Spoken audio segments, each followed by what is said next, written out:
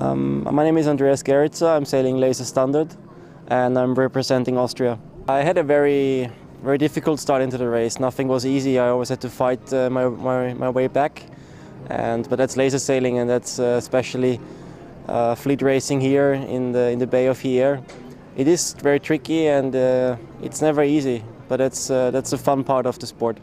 Uh, my position after the qualification was not the best one, but it was always close, and especially in the Laser Gold Fleet finals, uh, everything is possible. If you go through the results today, a lot of people had a 35th, uh, 4th, uh, and I had a very good two last races, so I, I jumped from, from 19 overall to 6th overall, and um, I'm very pleased, I'm very happy with that, but I have to fight uh, one more race tomorrow to, to stay in top 10 for the medal race.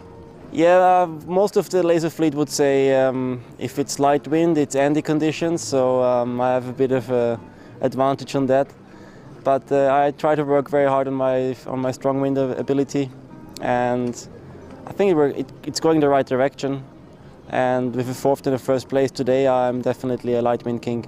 The the last race for tomorrow is going to be tricky again because a lot of people want to be into want to come into the medal race and um, but you don't have to be over you don't have to be very excited. So just do the basics and have a good start. Keep the speed with the others and uh, don't make any mistakes